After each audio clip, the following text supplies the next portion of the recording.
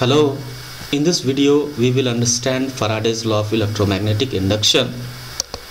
Faraday's law of electromagnetic induction is the very basic concept and the most used concept in electrical engineering. So we will try to understand this law. Basically Faraday's law of electromagnetic induction is a law which says how EMF is generated in a closed conducting loop whenever it sees a change in magnetic flux.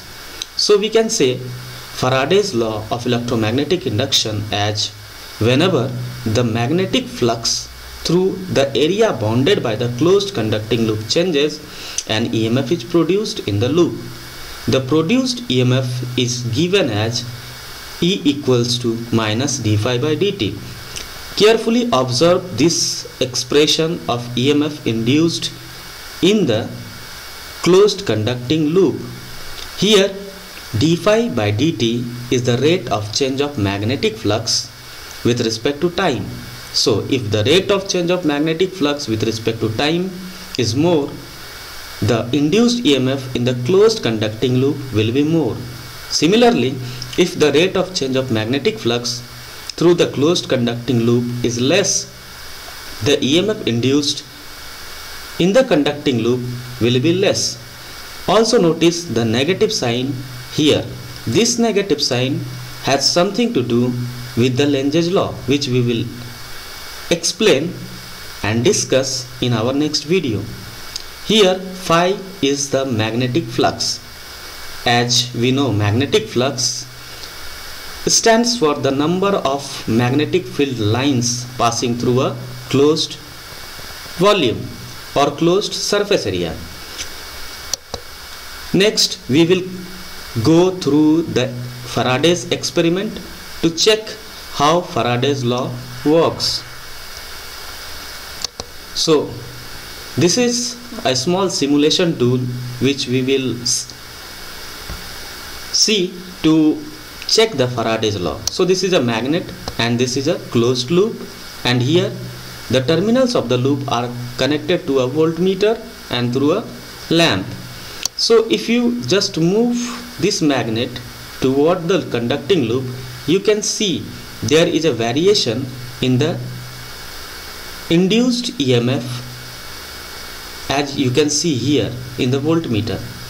Similarly, if you take this magnet out of the conducting loop, you see the induced EMF has opposite direction. I am again showing the experiment, carefully observe. I am bringing this magnet into the coil. The induced EMF is in the negative side as this needle moves toward the negative side. Now I am bringing this magnet out of the coil. So the induced EMF has a direction toward the positive side. So as I discussed in the expression of induced EMF E equals to minus d phi by dt there is something called negative sign. This negative sign has a meaning which I will explain in Lenz's law. I will also show you one thing. If you increase the rate of change of magnetic flux through the coil the induced EMF will be more as you can see you check it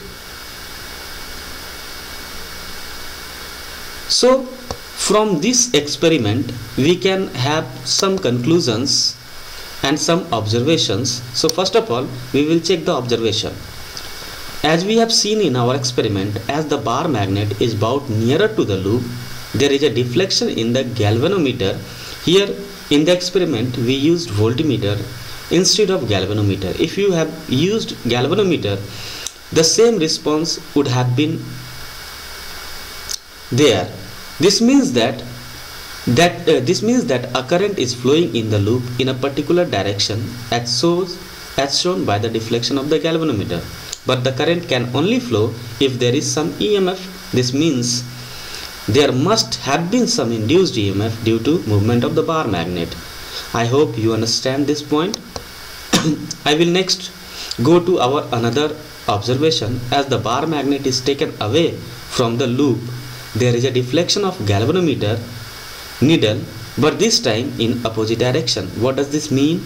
This simply means that the direction of induced EMF has changed and due to this change of direction of EMF the current must flow in opposite direction.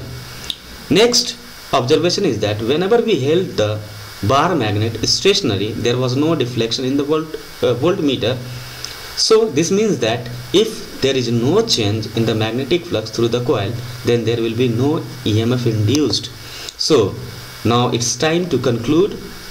So in conclusion we can say that Faraday's law the induced EMF is dependent upon the rate of change of flux linking through the conducting loop or coil.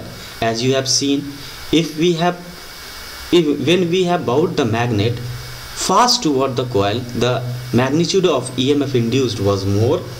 And when we bowed the magnet slower slowly toward the coil, the magnitude of magnitude of EMF was less. Therefore, to have an induced EMF the flux through the coil must change. So this is one of the conclusion.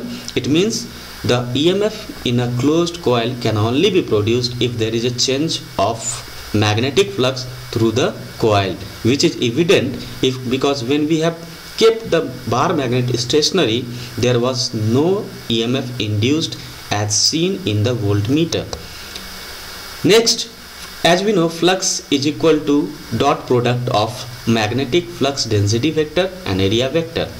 This means that flux through a coil can be changed either by changing the magnetic flux density vector or by changing the area vector or by changing both. In electrical machine, Faraday's law of electromagnetic induction is most used. Therefore, I will suggest and recommend, recommend you to carefully understand this concept. Thank you.